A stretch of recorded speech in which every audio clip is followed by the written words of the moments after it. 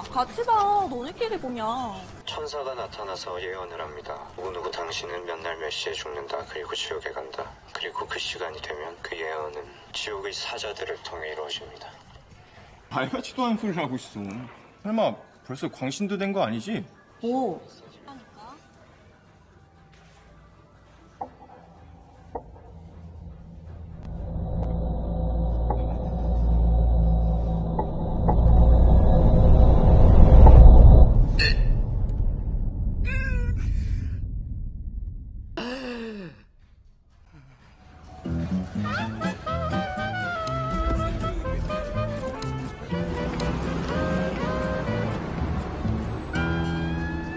요즘에 이런 걸로 낚여지는 사람이 있냐? 다 CG라니까. 시작.